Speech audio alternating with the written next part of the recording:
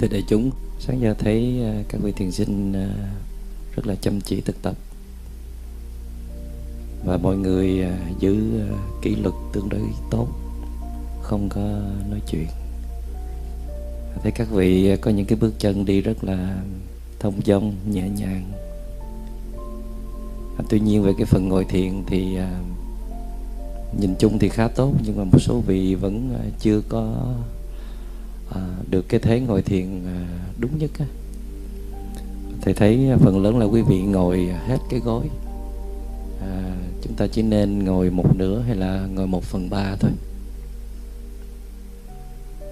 Và khi mình ngồi làm sao cái mình mình đẩy cái, cái tại vì cái gối này nè cái loại gối tròn này nó ở trong là làm bằng vỏ hạt đậu xanh nó nó mềm và nó có thể điều chỉnh được cho nên mình điều chỉnh cái gối làm sao để mà à, cái cột sống mình cái lưng mình nó phải được dựng thẳng đứng. Và hai cái đầu gối của mình nó chạm được xuống sàn. Tại vì khi hai cái đầu gối chạm xuống sàn cộng thêm cái mông mình nữa là ba điểm trụ thì nó làm cho cái thế ngồi mình rất là vững vàng. Mình ngồi mình phải lắc qua lắc lại thử coi.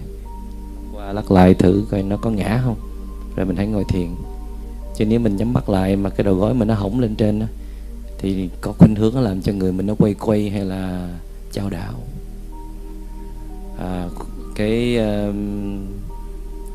cách mà chúng ta làm chưa đúng nữa là khi các bị à, để tay đó các vị để tay thả tới phía trước như vậy nè dễ dãi thả lỏng xuống thì người mình nó sẽ chồm tới phía trước như vậy.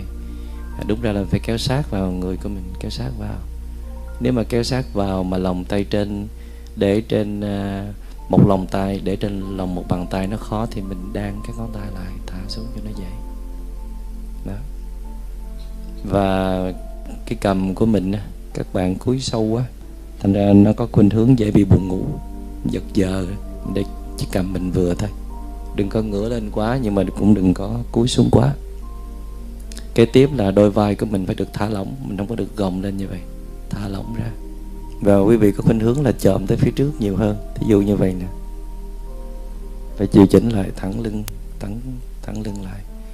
Thì à, nếu mà quý vị à, có ở trong các khóa thiền thì sẽ được à, các vị hướng dẫn thiền. Họ sẽ dùng cái thiền bản cái thước họ sẽ dựng đứng lên họ bắt mình dựa vào để cho mình quen cái cảm giác cái lưng mình nó thẳng là như thế nào. Còn không thì nếu quý vị tập một mình thì mình có thể dựa vào góc cột thử ở nhà đó để mình nhớ cái cảm giác khi mà cái lưng thẳng thì sẽ như thế nào, hoặc là với bức tường. Nhưng mà chúng ta không nên ờ, ngồi thiền mà dựa vào góc cột hay là bức tường ha. Mình chỉ dùng nó để ờ, giúp cho mình ờ, điều chỉnh cái lưng, cột sống của mình lại. Nếu mà mình ngồi thiền mà mình không có dựng cái tấm lưng mình thẳng đứng thì thứ nhất là rất là khó tập trung. Kế tiếp nữa là nó sẽ ảnh hưởng tới cột sống của mình sau này cho nên chúng ta cần có một cái dáng ngồi thiền chuẩn mực đúng. Trừ khi nào chúng ta biết đúng rồi nhưng mà cơ thể chúng ta có một vài lý do mà mình không thể à, làm theo hoàn hảo được thì đành chịu. À, nếu ở nhà mình có một cái tấm gương trên tường đó khi mình ngồi thiền mình ngồi nghiêng một bên để mình nhìn cái trong gương coi mình đã ngồi thẳng chưa? Ngồi thiền nó phải cho đẹp phải vững như là một ngọn núi vậy. Mình thấy đức phật ngồi rất là uy nghi nhìn uy nghi nhưng mà rất là thông thả chứ không phải uy nghi mà nhăn nhó hay là câu có. Thành ra mình phải luyện tập. Cái này nó cần thời gian công phu nhưng mà mình phải à, quyết tâm. Và trong khi à, quý vị tới đây tu tập thì biết quý vị à, một số vị à, đến từ các truyền thống khác. Thí dụ quý vị là phật tử quý vị được học rất là nhiều cái phương pháp thực hành hay là quý vị đã từng thực tập theo những dòng thiền khác? Thì à, thầy cũng mong quý vị là những cái gì mà mình đã thực tập rồi thì mình cứ cất giữ ở đó. Nhưng mình đến một cái khóa thiền bởi hướng dẫn bởi một người khác hay là một cái truyền thống khác thì mình nên mở lòng ra mình học cái mới hoàn toàn. Rồi mình mới à, tập thử một thời gian để mình xem cái mình đang cái mình học hôm nay nè và cái mình học trước kia đó cái nào nó phù hợp với mình nhất. Phù hợp nhất có nghĩa là nó có những cái chuyển biến tốt trong uh, tâm hồn của mình. Nó làm cho mình uh, nhẹ nhàng thư thái bình an rồi uh, có thể uh, chuyển hóa một ít phiền não được. Thì mình nên chọn cái phương pháp đó. Chứ mình đừng có bảo thủ cố chấp những cái phương pháp mình đã biết rồi.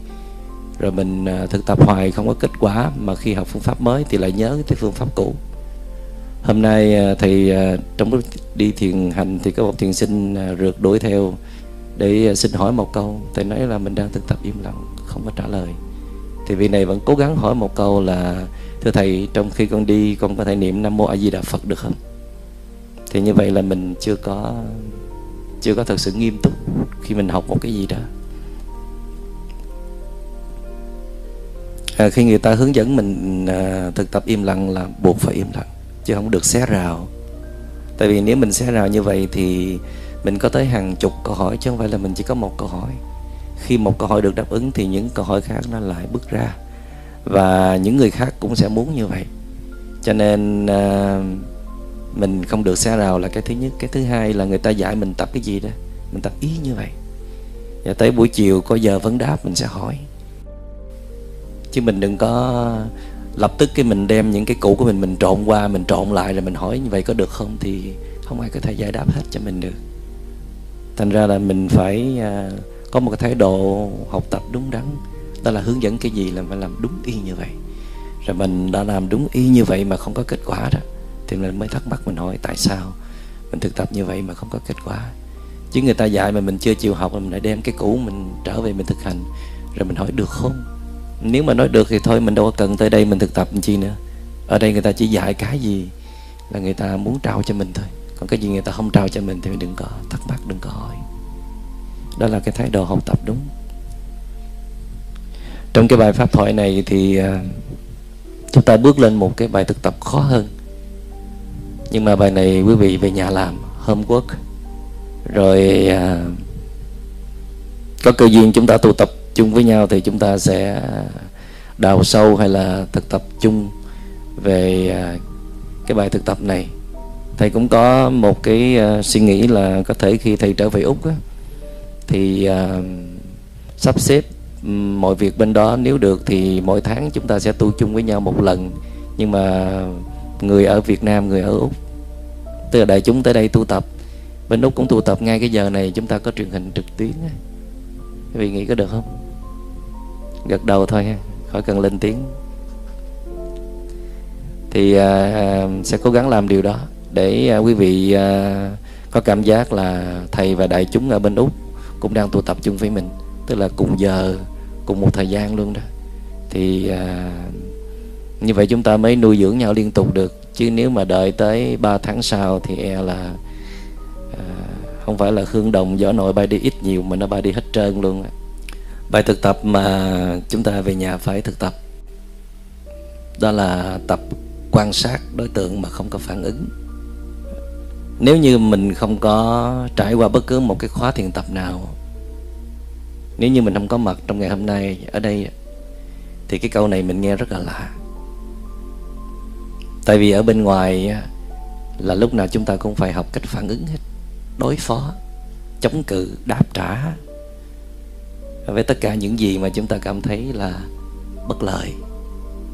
Mà nhiều khi cũng không phải là bất lợi, chỉ là bất như ý thôi. Tức là nó không có hợp với ý mình, chứ chưa chắc là bất lợi. Nhiều khi có lợi nữa đó, mà tại vì trong ý mình nó nghĩ khác. Mà sự vật, sự việc nó xảy ra khác, cho nên mình chống cái đã, tính gì tính. Tại mình không chống là mình hèn sao? Mình không chống là mình dở sao? Mình không chống là mình dởm sao? Cho nên chống cho ra vẻ anh hùng chống cho ra vẻ người hiểu biết, chống ra vẻ người có quyền lực, chống ra vẻ như là người không dễ bị ăn hiếp đâu nhé.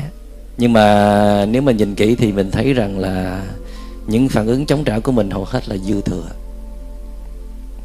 Quý vị có thực tập thiền quý vị bắt đầu quan sát, bắt đầu là từ bây giờ cho tới khi mình về nhà, ngày mai, ngày mốt, cho hết một tuần, quý vị sẽ thấy là ừ, mỗi ngày như vậy chúng ta cầm một cái quyển sổ ghi là mỗi lần mình chống trả một cái gì đó mình ghi xuống là mình mới vừa chống trả một cái gì đó. Nhiều khi mình không phải chống trả với một người nào đâu mà mình chống trả với ông trời nữa. Trời mưa mình cũng chống nữa. Rồi trời nắng mình cũng chống. Rồi kẹt xe mình cũng chống. Rồi uống cà phê mà nóng quá cũng chống. Rồi à, mặc quần áo chật chội thì cũng chống. Cái gì cũng chống hết. Hễ bất như ý là chống. Đó là thói quen của chúng ta mà mỗi lần chống có nghĩa là mỗi lần phiền não nó sinh khởi sân hận nó xuất hiện. À, chúng ta thường hiểu sân hận là một cái cơn giận một cái anger nó trỗi lên và nó gầm rú la hét đập bàn đập ghế à, hai con mắt lông sòng sọc. Cái đó là đỉnh điểm thôi. Còn những cái phản ứng ngấm ngầm nho nhỏ đó bực bội khó chịu thì nó vẫn được tính là cơn giận. Nó là dây mơ rễ má của cơn giận nó đều là phiền não mình đừng có xem thường chuyện đó. Thí dụ như buổi sáng dọn thức ăn ra mà mình không thấy có chuối hay là sữa là mình hơi hơi hơi không vui một chút. Thì cái đó vẫn là một phản ứng chống đã, tức là rất là khác với cái à, gọi là chấp nhận. Thí dụ như à, bỗng dưng có một thiền sinh đi thẳng vô thất của thầy đi thiền hành. Thì à, có những lúc thầy phản ứng một cách khác nhau có những lúc thầy nói, ủa, tại sao thiền sinh này không biết cái chỗ này của thầy làm sao đi vào trong này vậy? Có nhiều vị cứ đi qua, đi lại trước cửa lãng vãng, giống như là rất là thích cái vùng an toàn đó vậy. Thì thầy mới đặt câu hỏi là vị này muốn gì đây? À nhưng mà có những lúc khác vị đó đi vô rồi đi ra, cái thầy có cảm nhận rằng vị này không có biết đường đi rồi, lạc vào đây. Rồi có những lúc khác vị đó cũng đi vào trong cái cái thất của thầy là cái góc nhà chỗ này nè thì à, thầy chỉ ghi nhận là có một người đi vào và có một người đi ra, mà không có phản ứng gì khác. Thì cái phản ứng của mình như vậy nó tùy thuộc vào tâm trạng của mình mỗi thời điểm. Khi mà cái tâm mình nó ổn á, thì mình phản ứng khác. Còn khi tâm mình nó hơi bất ổn một chút xíu thì nó phản ứng khác. Còn khi nó bất ổn thật sự thì nó phản ứng khác. Đi ra, mình sẽ bảo người đó đi ra. Thầy có nhớ là cái đợt vừa rồi thì trở về mỹ à, trở về thăm mỹ. Tại sao hai năm rồi nhớ mỹ quá về thăm chứ sợ mỹ nó không cho vô nước cho nên là phải trở về thăm mỹ. Thì à, có một anh thiền sinh mới rủ thầy đi chụp hình để à, cần một vài tấm hình à, cho một số tờ báo hay là để làm cái cuốn sách sắp tới. Thì buổi à, thầy với bạn đó đi vào một cái buổi sáng sớm ở trong khu rừng ở Virginia miền đông bắc Hoa Kỳ. Thì uh, anh mới tìm cho thầy một cái park một cái công viên uh, quốc gia rất là đẹp. Thì công viên đó của cái cái cái cái cái, cái quận đó thôi. À, công viên thiên nhiên rất là đẹp thì hai thầy trò mới đi vào trong đó chụp hình. Thì à, mình đi theo cái tia nắng tia nắng đi tới đâu mình, à, mình tìm chỗ nào có tia nắng thì mình chụp. Cái lần hồi mình đi sâu vào trong rừng mình đi tìm cái tia nắng hồi cái mình không biết là phía sau rừng đó có một dãy nhà mà nó gọi là những cái giấc, tức là những cái nhà cái kiểu như của người mông cổ vậy đó, họ cất ở trong đó. Mà mình thấy cái khu đó rất là tĩnh lặng, không có một bóng người, thì mình nghĩ chắc là không sao. Cho nên là mình cứ lo chụp hình. Thì từ xa có một anh chàng à, người Mỹ rất là trẻ, chừng khoảng 22 23 tuổi, anh chàng đến hỏi chứ à, có cần giúp gì không? Nghe rất là tử tế. Thì mình nói là không, chụp hình thôi chứ không cần giúp gì hết thì mới nói nha thật ra là cái khu này là là mọi người đang yên nghỉ. Hai vị muốn chụp hình thì hoan hỷ đi qua cái khu bên kia. Và mình à, cảm ơn anh chàng đó rồi mình đi ra. Thầy muốn kể là cái cách phản ứng của anh chàng đó rất là dễ thương. Thay vì à, nếu mình là cái người quản lý cái khu đó đó ê làm gì đó? Đi ra. Bộ không biết của người ta đang yên nghỉ hả? Có đọc bản chỉ dẫn chưa? Làm gì đó? Cái kiểu mà người có quyền lực hay như vậy đó thì cái kiểu mỹ nó rất là là khác. Nó tới nó hỏi cái đấy hết chứ? Nghe rất là tử tế ha. Mà thật ra là không có háp cái gì đâu không có giúp gì đâu. Mà đó là cái cách xã giao để họ đến đó, bằng một cái cái năng lượng an toàn cho mình biết trước vậy đó. Họ không có làm gì mình cả. Họ báo trước là họ đến để giúp đỡ trên trên cơ bản là giúp đỡ chứ không có cụ thể là giúp đỡ một cái gì. Nhưng mà họ nói là, can I help you? Tức là, tôi có thể giúp gì cho bạn không? Và cái câu thứ hai mới là cái điều họ muốn nói, đó là, bạn đừng có chụp hình ở đây, bạn có thể chụp hình ở nơi khác. Nhưng nếu mà bạn vẫn cứ tiếp tục chụp hình á, thì câu thứ ba đó là, bạn muốn tự gọi cảnh sát không? Dĩ nhiên là mình không có làm tới chuyện đó, nhưng mình biết thường là người mỹ sẽ như vậy. Tức là người mỹ khi mà chúng ta thật sự cố tình chống lại đó, thì họ mới thật sự là dùng giải pháp mạnh. Còn nếu mà chúng ta có sự hợp tác tốt, thì họ cũng hợp tác rất tốt với chúng ta. Cái phản ứng đầu tiên của họ là một thứ văn hóa mà chúng ta cần phải học, tức là lúc nào cũng tôn trọng mình hết. Có thể là chúng ta chống trả nhiều quá, chúng ta có chiến tranh nhiều quá cho nên chúng ta chống nhiều bầm dập hết trơn rồi. Cho nên là cái phản ứng chống trả này đi từ nhiều thế hệ rồi. Ông bà cha mẹ xuống tới mình. Lúc nào cũng nghi ngại các đối tượng xung quanh có ảnh hưởng tới mình. Đó là cái thứ nhất. Còn lý do thứ hai đó là mình thấy cái đời sống kinh tế phát triển mọi người à, hướng ra bên bên ngoài rất là nhiều. Và khi mà mọi người hướng ra bên ngoài thì mọi người à, tin rằng cái bên ngoài nó có ảnh hưởng tới mình, thật sự. Tại vì hôm nay chúng ta có cơ hội thực tập thiền và chúng ta học cái bài à, chú tâm trên một cái đề mục và chúng ta sẽ không để ý với những cái tác động xung quanh. Mặc dù là có lúc chúng ta làm tốt, có lúc chúng ta làm không tốt. Có nhiều người làm rất tốt, có nhiều người làm chưa tốt. Nhưng mà ít nhiều chúng ta cũng trải nghiệm và được cảm giác bớt chú ý các đối tượng xung quanh. Trong khi trước đó, ở bên ngoài chúng ta lúc nào cũng để ý các đối tượng xung quanh. Và chúng ta rất đề cao các đối tượng xung quanh. Đề cao có nghĩa là chúng ta nghĩ rằng, chúng ta tin rằng những đối tượng đó có thể làm cho chúng ta khổ. Những đối tượng đó có thể ảnh hưởng đến chúng ta. Cho nên chúng ta phải phòng ngự, chúng ta phải đề phòng, chúng ta phải sẵn sàng vũ khí để mà đáp trả lại. Bất cứ một cái sự tấn công nào. Nhưng mà nhiều khi đâu có ai tấn công mình đâu. Không có. Nhưng mà tâm tưởng của mình nó nghĩ là có. Tại vì mình bị tổn thương tâm lý. Tại vì mình đang cạn kiệt năng lượng. Cho nên cái tâm tưởng của mình á, buộc nó phải khuếch đại tất cả những cái phản ứng mà mình nghĩ rằng nó có hại tới mình gấp trăm ngàn lần và cuối cùng là mình đáp trả một cách rất là mạnh mẽ, rất là gay gắt với một cái cái điều à, không cần thiết phải làm như vậy.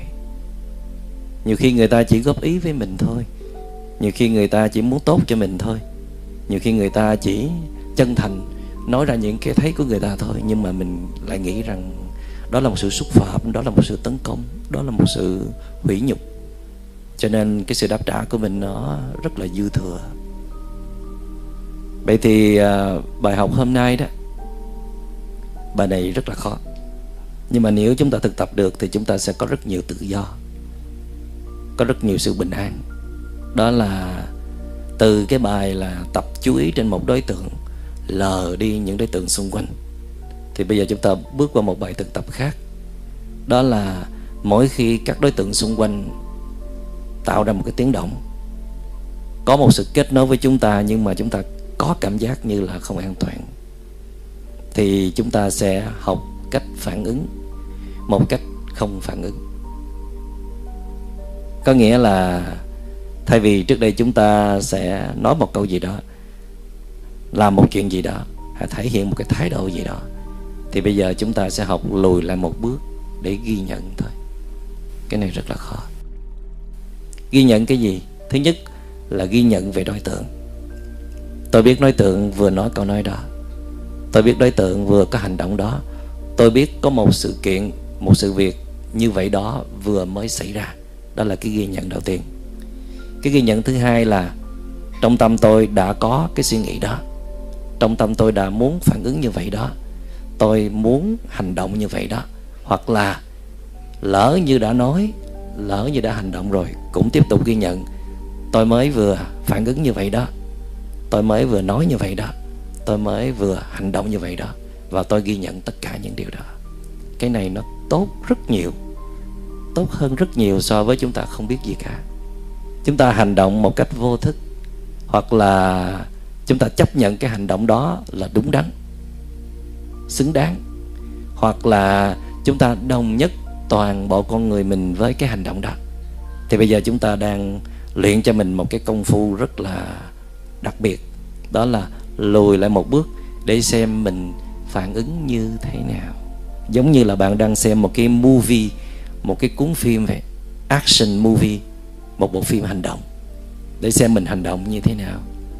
Thí dụ như mỗi khi đèn đỏ tới thì mình hãy lùi lại một bước quan sát coi mình phản ứng như thế nào khi mà có đèn đỏ, kẹt xe, trời ngập lụt rồi một cú điện thoại à, của một người mà mình không muốn gặp. Hay là một cái lời góp ý không không thật sự dễ thương thì mình sẽ phản ứng như thế nào? Trong thiền tập á một cái điều rất là đặc biệt đó là thiền tập không có bắt chúng ta phải trở thành người tốt liền. Thiền tập không có bắt chúng ta phải phản ứng à, một cách hoàn hảo. Mà thiền tập muốn chúng ta ghi nhận tất cả những phản ứng tự nhiên của mình.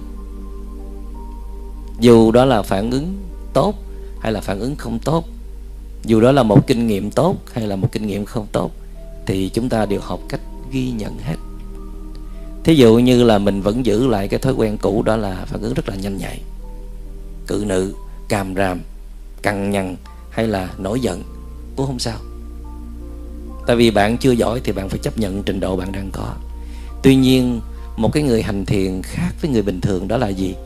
Ghi nhận tiến trình đã đang diễn ra và không đồng nhất với nó. Và chỉ có cách đó thì cái phản ứng đáp trả nó mới yếu dần yếu dần. Nghĩa là bạn đang không điều khiển chính bạn bạn đang không nhồi nặng chính bạn mà bạn chỉ học lùi lại một bước để nhìn cái phản ứng của mình là cái gì mà nó là cái gì cũng được hết. Cũng giống như khi mình à, ngồi thiền cái gì xuất hiện trong tâm mình cũng được hết. Mình không có cố tình làm cho mình không suy nghĩ. Dĩ nhiên là có những lúc chúng ta cần định tâm cho nên chúng ta cố gắng không suy nghĩ. Nhưng mà nếu nó suy nghĩ nhiều quá thì cũng không sao. Bạn lùi lại một bước từ cái cơ chế là định tâm, bằng chuyển qua cơ chế là niệm tâm. Chúng ta nãy giờ chúng ta nói là niệm tâm, tức là chánh niệm. Tức là bạn học cách quan sát cả những cái phiền não đang xuất hiện trong tâm bạn luôn á. Trong cái giờ ngồi thiền thì vẫn tính là công phu thiền tập đó. Tức là có những lúc chúng ta chú ý trên một đối tượng mà không suy nghĩ gì cả. Nhưng mà cũng có những lúc chúng ta ngồi nhìn coi trong tâm mình nó nghĩ cái gì. Và đừng có đi theo nó là được. Đừng có đồng nhất với nó là được. Và chỉ có cái cách này chúng ta mới đem thiền vào trong đời sống được. Tôi nhắc lại là phiền não không phải là vấn đề. Nổi giận không là vấn đề. Phản ứng gay gắt không là vấn đề. Nhưng có tỉnh ra để nhận biết nó hay không mới là vấn đề. Tại vì không cách nào mà mình mới thiền tập mà phiền não mình nó tan biến hết được không cách nào mình mới bắt đầu thiền tập mà những phản ứng gây gắt, khó chịu của mình trước đây mà nó được dọn sạch đi được. Bạn phải để cho nó hiện ra một cách tự nhiên. Nhưng mà bây giờ bạn làm một việc đó là lùi lại một bước để quan sát cái phản ứng gây gắt đó. Cho nên là bạn phải mở lòng ra, dễ thương, tử tế, đón nhận tất cả những phản ứng đang diễn ra trong tâm của mình. Các bạn hiểu không? Nó rất là khác trước đây. Ở trước đây là mình phản ứng, mình cũng không biết mình phản ứng cái gì nữa. Hoặc là mình chấp nhận cái phản ứng đó là đúng.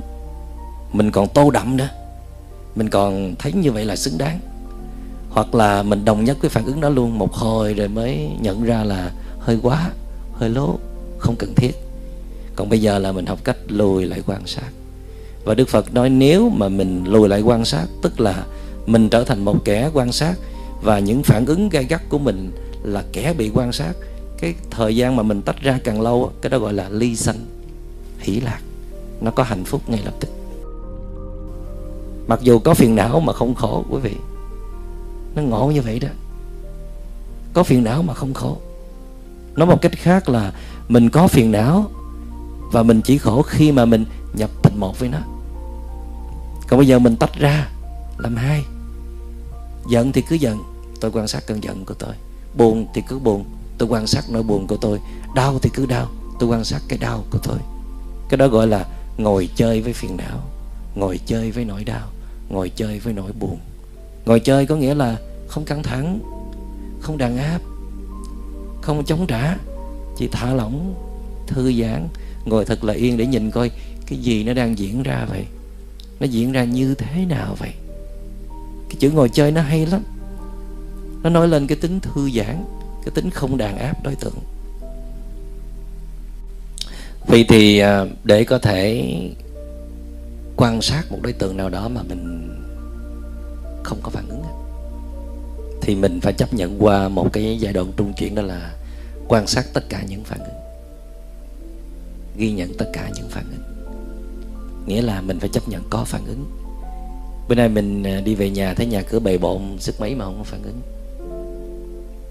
Mình về thấy con mình nó đi chơi suốt mà tới tối mịt nó mới chịu về nhà sao mà không phản ứng? Gọi điện thoại nó không nhấc máy mà sao mà không phản ứng? Mình dặn ở nhà làm cái này cái kia mà không ai chịu làm hết sao không phản ứng? Phải không? Chắc chắn là có phản ứng. Không sao. Thiền hay cái chỗ đó đó.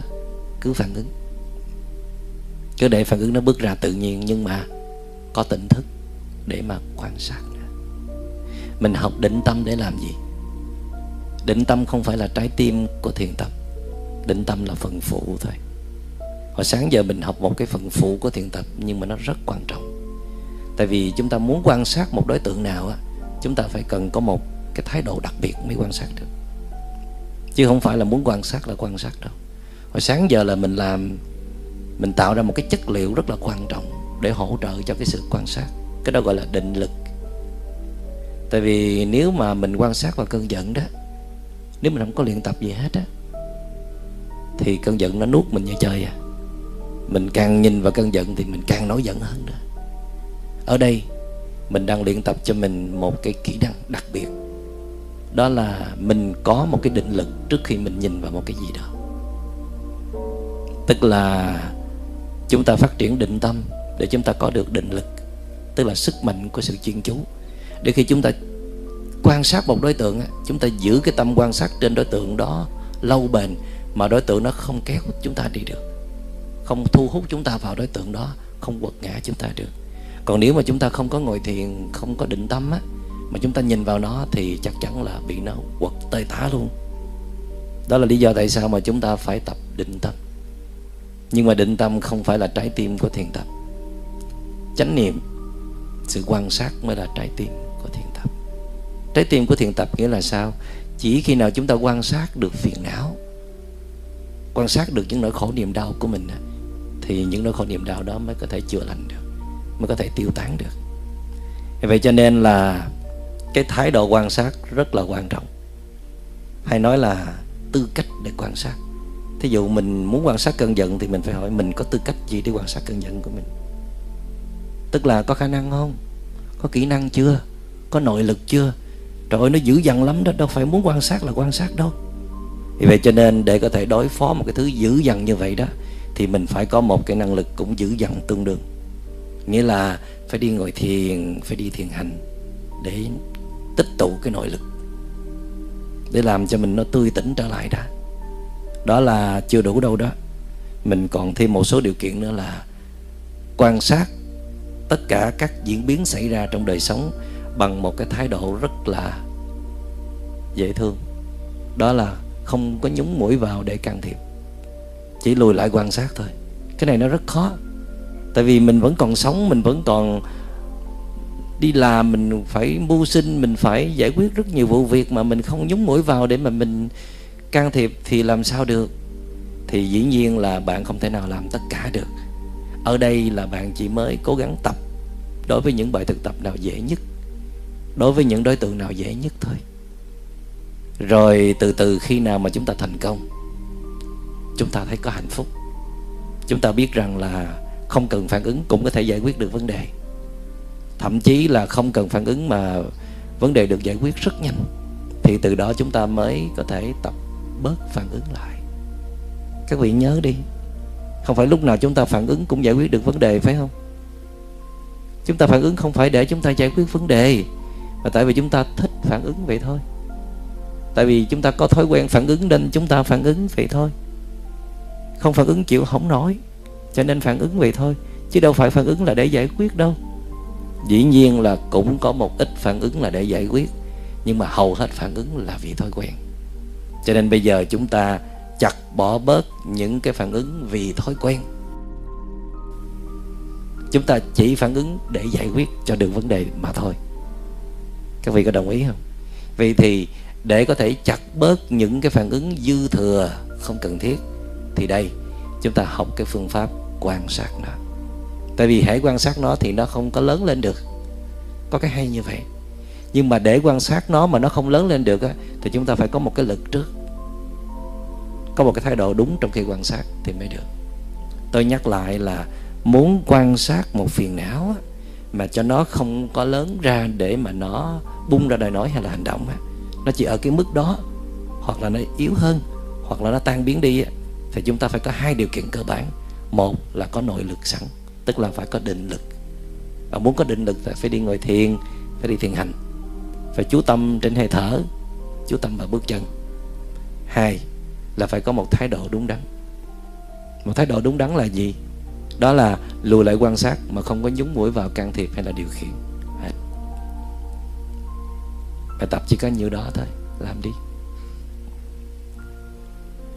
Mà ngay cả khi quý vị nhớ cái câu này thôi đó, quan sát mà không phản ứng nha. Quan sát thôi, không phản ứng là nó cũng đỡ rất nhiều rồi. Còn hơn là trước giờ mình không có bao giờ có ý niệm về cái chuyện mà không phản ứng là gì cả. Tại vì mỗi lần phản ứng là phiền phiền não nó đi ra. Mình lo một đống phiền não ra, mỗi lần phản ứng là khó chịu, là thở không nổi. Mỗi lần phản ứng là đổ vỡ hết. Cho nên mình thấy những cái phản ứng của mình nó nó nguy hiểm quá. Vậy cho nên là mình học cách để làm sao để mình kiểm soát được những cái phản ứng của mình thì khi mà mình có sự tỉnh thức, có chánh niệm, nó đi theo một cái phản ứng của mình á, thì mình sẽ biết rằng cái phản ứng này nên phản ứng hay là phản ứng này không nên phản ứng. Mà hầu hết khi bạn có chánh niệm rồi thì bạn rất ít phản ứng. Nó ngộ vậy đó. Là tại vì trong cái chánh niệm nó có cái tuệ trong đó, nó có cái hiểu biết, nó biết rằng là không phản ứng mới giải quyết được vấn đề. Đừng lên tiếng, đừng giải thích, đừng thanh minh, thanh nga gì cả đừng đáp trả gì cả, thì vấn đề mới được giải quyết. Nhiều khi mình thấy cái đối tượng đó đang bước trên con đường sai đó, mình biết đối tượng đó là một cái điều không đúng đắn. Mình biết mình cần phải lên tiếng để mình can ngăn đối tượng này, nhưng mà có khi, thầy nói là có khi thôi chứ không phải là tất cả. Mình không nói gì hết, mình không làm gì hết mà đối tượng đó mới chịu thay đổi. Tại sao? Tại vì cái ý mình là thành thành khẩn, cái tâm mình là tốt, cái ý muốn của mình là tốt. Nhưng mà khi mình phát ra đó, nó còn kèm theo một cái thứ khác nữa, đó là sự khó chịu, là năng lượng độc hại, là sự thách thức, là là sự chọc tức, là sự coi thường, là sự miệt thị, là sự thiếu tôn trọng đối phương. Cho nên bên kia họ nhận được cái thông điệp từ phía mình, nó không phải là một sự chân thành nữa mà nó bao trùm một cái năng lượng rất là tồi tệ, cho nên họ phản ứng ngược lại. Đáng lẽ họ làm ít á, nhưng mà nói quá làm nhiều luôn. Đáng lẽ họ định không làm đó, mà vì thái độ của mình cho nên họ làm cho đã tức. Cho nên à, thay vì quý vị lúc nào cũng hỏi là bây giờ mình làm gì để giúp được người ấy, thì tôi nghĩ là chúng ta cũng nên học một câu khác, đó là bây giờ chúng ta không nên làm gì để giúp được người ấy. Không nên nói gì không nên làm gì. Tại vì làm nhiều quá rồi mà không giúp được gì cả. Nói quá nhiều rồi mà không giúp được gì cả, thì thực tập không làm và không nói gì cả. Thì cái cái này đức phật gọi là cái ý nghĩa cạn của cái chữ vô tác có những lúc đừng làm gì cả mà giải quyết được vấn đề. Cái cái nghĩa cạn của chữ vô tác là đừng làm gì cả thì cái nghĩa cạn của cái chánh ngữ là đừng nói gì cả. Cái nghĩa cạn của chữ chánh nghiệp đó là đừng làm gì cả. Khi chúng ta đến trung tâm thiền, chúng ta có cơ hội thực tập cái đó, không nói gì cả, mà nó có nội lực. Còn càng nói là càng suy cạn năng lượng. Quý vị có thấy là từ ngày sáng giờ mình có nhiều năng lượng hơn không? Là do mình có thiền tập, và cũng do là mình không có nói gì hết rồi mình cũng không làm gì hết. Dĩ nhiên là đúng là đời sống là phải làm. Mình còn nhiều trách nhiệm, mình bổn, nhiều bổn phận nữa. Nhưng mà rõ ràng là mình càng làm là càng tiêu tốn năng lượng. Cho nên mình cũng tập có những lúc không nên làm gì cả. Ở không. Ở không không phải là lười biếng. Ở không để để đừng tạo tác ra những cái năng lượng độc hại nữa. Thì từ hồi sáng giờ mình đâu có làm gì đâu. Thật ra là mình không có rửa mình à, mình không có nấu ăn, mình không có làm những cái việc lớn lao thôi. Nhưng mà mình chỉ làm những cái việc nhỏ nhỏ như là rửa chén. Hết rồi, không có làm gì hết. Còn lại đó là đi lấy thức ăn để mà ăn thôi, chứ không có ai đút mình ăn hết. Cái đó mình cũng có làm. Hoặc là mình cũng có làm đó chứ, đó là thiền tập. Thiền tập cũng là làm, nhưng mà làm rất là nhẹ nhàng làm mà có thêm năng lượng, chứ không phải là tiêu hao năng lượng. Nói vậy chứ, nếu mà mình không có một cái thái độ đúng trong khi thiền tập đó quý vị, là mình thiền tập cũng tiêu hao năng lượng nữa đó. Thiền tập mà không có kết quả, thiền tập mà cũng có thể kẹt cứng vào trong đó, thiền tập mà cũng có thể phát sinh bản ngã chứ không phải là không. Cho nên mọi thứ nó cần cái sự khéo léo. Làm cái gì cũng phải hiểu được cái nguyên lý của nó thì mình mới làm vậy thì à, mình phải luôn nhắc nhở mình là có những lúc mình nên làm gì đây? Và có những lúc mình không nên làm gì đây? Có những lúc mình nên nói cái gì? Và có những lúc mình không nên nói cái gì? Đó đều là phần thực tập quan trọng vậy thì à, tôi đề nghị quý vị là nếu quý vị muốn thực tập cho sâu cho kỹ cho có kết quả đó thì mỗi người nên có một cái quyển sổ thiền tập mỗi ngày. Trong đó mình vừa ghi ra, ngày hôm nay mình ngồi thiền được mấy phút. Rồi à, mình định tâm được bao lâu? Có ngủ gục không thì ghi ra. Có vọng tưởng không thì ghi ra. Vọng tưởng về cái gì nhiều nhất. Rồi, mình có một tinh thần sẵn sàng để ngồi thiền không? Hay là bất đắc dĩ lắm? Thì mới chịu ngồi thiền. Ngồi thiền trong sự miễn cưỡng chứ không có hạnh phúc gì cả. Hoặc là rất là hạnh phúc, rất là bình yên cứ ghi ra. Kế tiếp đó là mình đem thiện vào trong đời sống. Qua bài thực tập là quan sát tâm phản ứng của mình. Thì à, cái quyển sổ này mình có thể để ngay bên người cũng được hoặc là buổi tối khi mình đi làm về thì mình có thể ghi ra cũng được. Nhưng mà nếu có cuốn sổ ngay bên người đó mình ghi ra thì mình sẽ nhớ kỹ hơn. Đó là mình mới vừa phản ứng cái gì? Phản ứng với ai? Tại sao? Và nếu được thì mình ghi rõ cái tiến trình phản ứng đó hồi đầu thì mới à, chỉ là hơi bực bội, khó chịu. Rồi bắt đầu là do người kia à, kích thêm vài câu khó chịu nữa cho nên nó biến thành một cơn giận. Rồi bắt đầu la hét, đập bàn, đập ghế, cái gì đó, ghi ra hết. Rồi có những lúc mình phát hiện có những cái phản ứng ngấm ngầm bên trong, không muốn hợp tác, hay là coi thường, khinh thường cái khả năng của một người nào đó, không có chịu ngồi lắng nghe chẳng hạn. Tất cả những cái đó đều là những phản ứng để mình thấy được cái tiến trình à, tu tập của mình nó đang đi tới hay là nó bị đứng lại hoặc là nó tụt lùi. Tâm phản ứng thì nhiều lắm. Đếm không có hết rồi quan sát không có hết rồi và chúng ta cũng không có ý làm cho nó hết. Chừng nào nó hết thì nó hết. Cái công việc của chúng ta đó là tỉnh thức để nhận biết hết. Tỉnh thức để quan sát thôi. Còn chừng nào nó hết thì kệ nó mà nếu mà chúng ta có ý muốn làm cho nó hết á, là nó không bao giờ hết. Có ý mà muốn cho nó hết là một thứ phản ứng nữa đó. Cũng nên lấy cái thứ phản ứng đó ra luôn để nó hiện ra một cách tự nhiên ghi nhận quan sát. Hồi đầu thì mình làm hơi khó. Mình cảm thấy rất là khó để mà làm được cái chuyện này. Nhưng mà làm được một hai ngày một vài tuần rồi mình thấy rất là thiện xảo rất là điệu nghệ rất là dễ dàng. Cứ tưởng tượng như là mình đang xem cuốn phim của, của chính mình vậy. Chúng ta chọn một nhân vật mà chúng ta phản ứng nhiều nhất. Thí dụ như là mình đang có nội kết với sếp của mình thì hãy đặt cái bài thực tập của mình vào đó nhiều hơn. Chú ý vào những phản ứng của mình mỗi khi gặp sếp nhiều hơn. Hoặc là mình đang có nội kết với cha mẹ của mình hay là với uh, ông xã là bà xã của mình. Mỗi lần mình gặp mặt người đó là người mình nó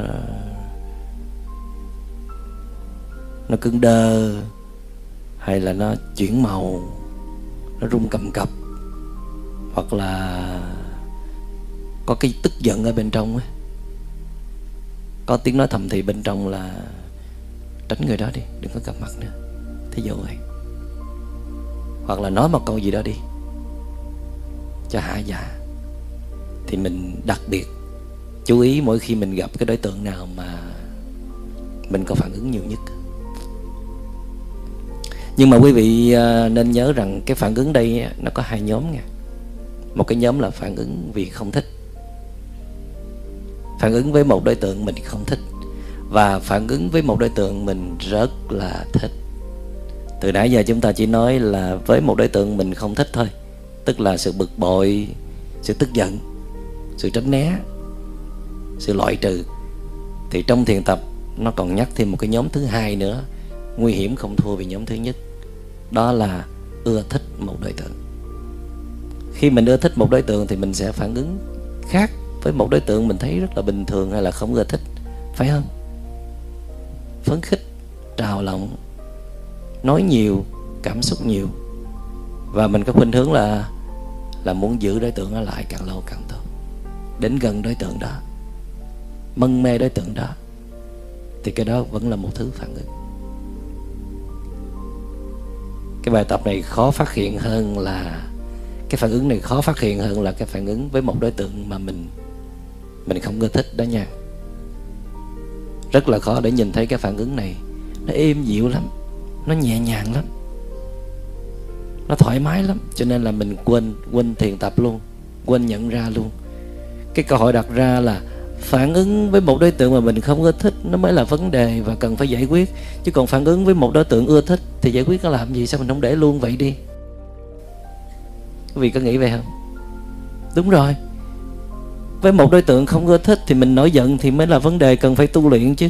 Còn với một đối tượng mình thích quá trời quá đất, hạnh phúc quá trời quá đất mà mà giải quyết ra để làm gì? Thì thật ra là cả hai cái phản ứng đều làm tâm chúng ta bất an hết. Vì nhìn kỹ quý vị sẽ thấy như vậy. Dù cái người đó yêu thương mình cỡ nào, dù mình thích người đó cỡ nào, thì những cái phản ứng tâm lý của mình khi mình tiếp xúc đối tượng đó cũng làm cho mình bất an. Cái trạng thái mình thích, rồi mình muốn giữ gìn, muốn bám víu, muốn vướng mắc, rồi muốn nhớ nhung, rồi tơ tưởng, rồi thỏa mãn, rồi đam mê vân vân, tất cả những cái đó đều là phiền não luôn. Một nhóm thứ hai của phiền não. Tất nhiên là các bạn trẻ không có chịu cái này đâu. Thì thôi các bạn cứ làm nhóm thứ nhất thôi. Tới khi nào các bạn đủ đủ uh, trải nghiệm đủ tỉnh ngộ thì các bạn sẽ giải quyết luôn cái nhóm thứ hai. Khi nào mà bạn có nhu cầu gìn giữ tâm bình an của mình quý giá cái tâm bình an của mình thì chúng ta sẽ làm luôn cái phần thứ hai còn bây giờ nếu mà mình chỉ muốn giải quyết những cái à, cơn giận những cái bực bội những năng lượng tiêu cực khi mình tiếp xúc với một đối tượng mình không ưa thích thì mình chỉ nên làm cái nhóm thứ nhất. Còn ai thấy cái nhóm thứ hai nó cũng làm mình phiền không kém nó làm cho mình bất an không kém nó làm cho mình cũng sầu muộn không kém thì tập luôn bài tập cho cái nhóm thứ hai đó là quan sát phản ứng của mình với những đối tượng ưa thích vậy câu hỏi đặt ra, nếu mình rời bỏ những đối tượng ưa thích, mình không phản ứng gì hết, thì mình thành cái gì? Mình thành một người bình an, một con người thảnh thơi và tự do. Cái đó nó ra làm sao? Nó có đã không? Nó có hấp dẫn không? Nó có tuyệt đỉnh không? Thì thử đi rồi biết. Còn nếu quý vị thấy rằng là được mơn trớn, được vuốt ve, được chiều chuộng, được bảo vệ mới hấp dẫn, thì quý vị cứ theo cách của mình, đâu có sao đâu đó là sự chọn lựa của mỗi người. Dĩ nhiên là tôi không thể nào đề nghị các bạn làm tốt hết. Bây giờ được cứ để tiến trình tự nhiên nó diễn ra. Tại vì nhớ nhung một người nào nó cũng mệt lắm. Hy vọng chờ đợi một cái gì đó nó cũng mệt lắm. Và mình có sung sướng thỏa mãn từ một người nào đó rồi chấm dứt nó cũng uổng lắm. Nó cũng khó chịu lắm. Cho nên thôi thà đừng có quá vui thì nó không có khổ. Tại vì cái cảm giác sau khi không được thỏa mãn nữa là cảm giác khổ. Nếu biết có vui là có khổ thà rằng đừng khổ cũng đừng vui. Chạy theo một cái gì đó nó cũng mệt lắm. Tới một lúc nào đó quý vị sẽ thấy rằng an trú với chính mình, nương tựa vào chính mình là hạnh phúc nhất. Còn hùng hạp trong một cái hợp đồng tình yêu nào đó thì có cũng được, không có cũng không sao cái người kia có mặt trong cuộc đời mình thì cũng chỉ đóng vai trò phụ để hỗ trợ thôi. Mình phải là cái người chịu trách nhiệm chính cho cuộc đời mình. Mình phải thương lấy cuộc đời mình. Đừng có chờ đợi ai thương hết. Mà không ai có thể thương cuộc đời mình mãi mãi cả. Họ chỉ thương mình được thoáng chốc, một khoảng thời gian ngắn ngủi. Rồi họ cũng phải thương họ chứ. Quý vị có đồng ý không? Để nào quý vị muốn họ cứ mê mẩn mình, cứ đắm đuối về mình, cứ lo cho mình rồi bỏ bê cuộc đời của họ. Họ phải lo cuộc đời của họ. Mình lo cuộc đời của mình. Rồi khi nào rảnh, khi nào quẩn thì hãy lo cuộc đời nhau. Khi nào còn dư năng lượng thì hãy hãy cho nhau. Chứ mình đâu có muốn là mình hết xí quách rồi mà mình nói mình đi thương người kia, mà người kia cũng hết năng lượng rồi mà đi thương mình. Cái đó là bi kịch không tự chăm sóc mình mà đòi mà đòi đi thương yêu người khác. Thì đó là bi kịch. Cho nên thiền tập thật ra chính là cái nghệ thuật thương yêu bản thân một cách có hiểu biết. Thương yêu chứ không phải là chiều chuộng. Biết làm cho mình có bình an và hạnh phúc, mà không cầu cạnh không chờ đợi cái gì ở bên ngoài. Và khi mà chúng ta trở về với chính mình đủ có năng lượng, có niềm vui, hạnh phúc, chúng ta sẽ bớt chống trả các đối tượng bên ngoài. Chúng ta thấy những lời nói không dễ thương kia, những hành động không dễ thương kia chẳng là gì cả. Nó là gì cả? Nó thật sự là vấn đề khi tâm chúng ta yếu thôi, khi chúng ta không có cái sức sống gì ở bên trong thôi. Không tin là chiều nay quý vị về, quý vị sẽ thấy phản ứng của mình nó đỡ hơn rất nhiều so với ngày bình thường là tại vì từ hồi sáng tới giờ quý vị có thương mình nè, có trở về sống cho chính mình nè, có nạp năng lượng nè, thì tất nhiên phản ứng của mình nó sẽ có khác. Trừ khi mình, về mình gặp ngay cái đối thủ của mình thì thì cái phản ứng nó còn như cũ. Bài tập đó khó quá, từ từ giải quyết sao. Còn à, thông thường thì những phản ứng khác mình rất dễ cho qua. Điều đó chúng ta mới tin thật là tin là chúng ta hoàn toàn có thể trở thành người tự do được. Chúng ta hoàn toàn có thể trở thành một người mà không bị khống chế phiền não được. Và chúng ta hoàn toàn có thể trở thành một người mà không có cái hoàn cảnh nào có thể vùi dập chúng ta được. Khi chúng ta thật sự nương tựa vào chính mình. Khi chúng ta bớt đề cao, bớt coi trọng những cái tác động ở bên ngoài người đó chỉ có thể làm cho mình khổ khi mà mình mình quá tập trung vào người đó. Mình quá chú ý vào người đó. Mình quá cho rằng là người đó có thể làm cho mình khổ. Khi mà mình có được nội lực, khi mình an trú cái tâm của mình ở trên thân của mình, khi mình sống sâu sắc trong hiện tại, khi mình có năng lượng tràn đầy, khi mình lúc nào cũng chỉ để ý tới hơi thở, tới bước chân tới những gì xảy ra trong giờ phút hiện tại, thì người kia có làm cái gì thì mình cũng cảm thấy không là vấn đề. Không có gì đáng ngại cả. Tại vì mình không có chú ý tới nó. Mình đánh giá rất thấp về nó. Như vậy thì không ai có thể làm cho chúng ta khổ được cả. Chúng ta có cho phép hay không thôi. Và chúng ta cho phép có nghĩa là là tại vì chúng ta thiếu nội lực tại vì chúng ta cạn kiệt năng lượng. Tại vì chúng ta không có đời sống ở bên trong, nghĩa là chúng ta đã cho phép hoàn cảnh tới để quật chúng ta ngã xuống. Và nói một cách khác, khi chúng ta mạnh mẽ, khi chúng ta nương tựa vào chính mình, khi chúng ta có đời sống từ trong chính mình, thì có nghĩa là chúng ta đã miễn nhiễm trước những cái biến động xảy ra xung quanh. Câu hỏi vẫn vẫn còn đó là, vậy mình còn có thể thương được không? Còn thương mà nó không có khổ mình thương không phải là mình chờ đợi, hy vọng người kia làm cái gì đó cho mình nữa. Mình thương là mình cống hiến, sẻ chia, là hiến tặng, là làm cho người khác có hạnh phúc. Tức là từ một con người lúc nào cũng chờ đợi, hy vọng người khác làm cho mình có hạnh phúc.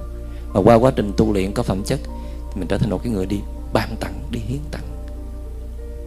Những cái năng lượng bình an, những cái hiểu biết của mình làm cho người khác có hạnh phúc. Từ một cái trái tim lầy lội hay là tổn thương trở thành một trái tim rất là mạnh mẽ, vững vàng, tràn trề năng lượng. Tình hình thay đổi. Cho nên đức phật nói tất cả là tại tâm, vạn pháp duy tâm tạo nếu mà tâm thay đổi thì thế giới trong mắt mình cũng sẽ thay đổi. Tất cả những người xung quanh trong mắt mình cũng sẽ được thay đổi. Và chúng ta chỉ tin điều này khi mà chúng ta thật sự quay vào bên trong và tin tưởng nơi chính cái công phu tu tập của mình bây giờ chúng ta nghe ba tiếng chuông để à, kết thúc.